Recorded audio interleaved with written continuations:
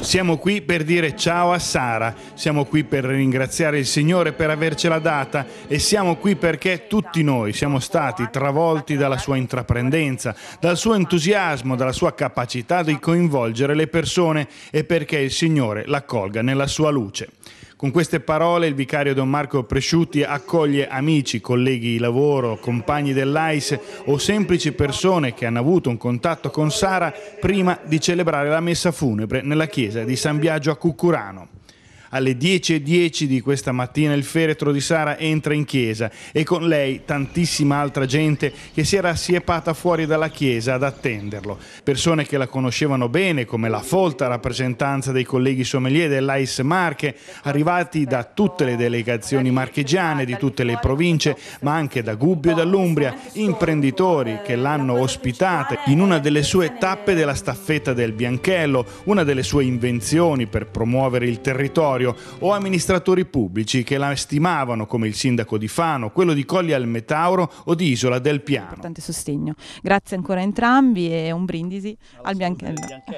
un grazie particolare Don Marco lo ha voluto rivolgere alla famiglia Bracci, ai genitori e alle sorelle Anna e Lucia ed al compagno. Siamo colpiti, dice il sacerdote, dalla fedeltà del compagno di Sara vicino a lei sino all'ultimo, colpiti dall'amore di questa famiglia che ha travolto tutti tutti.